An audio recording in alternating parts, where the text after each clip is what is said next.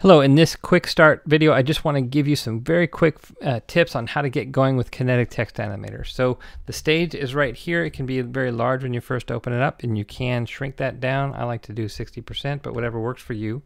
Now the other thing that you want to do, since these are text animations, you want to have at least one font selected for many of them. Let's go ahead and open up this first one. And I can do a keyword search for my favorite fonts. And then I can, if I want, I, I have this open now, I can double click on it and now my font is selected. Now um, you can see here that we have in the timeline area we have a, a thing called a Anablock. That's what these are called. I need to have one selected in order to create an animation. So I can create a quick uh, text animation here. Let's just type something in.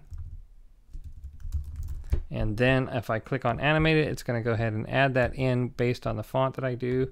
And I can uh, make changes and then hit animate it again and then it'll just quickly create a new animation. Whenever I want to make a new animation, I can click on the plus sign and put it in a new position and then create another animation. Now I also want to point out to you that you can do keyword searches for assets. So I can do something like business here and then it'll search and it'll find images. Now for images, you want to drag and drop them. The other assets, music and video, you can click on an add button. But for images, you can just go ahead and drag and drop. There is a crop feature. I'm using my trackpad to zoom. And once zoomed, I can use my mouse to kind of move things around. When I'm happy with it, I can add it to the timeline. And then what I can do is go back to my animation here, click on it, and I can see where that's showing up and it's kind of covering that. So I can use the grid feature and I can set that so that it'll maybe show up maybe say here uh, just for the fun of it and click on animate it and it's going to move that over there.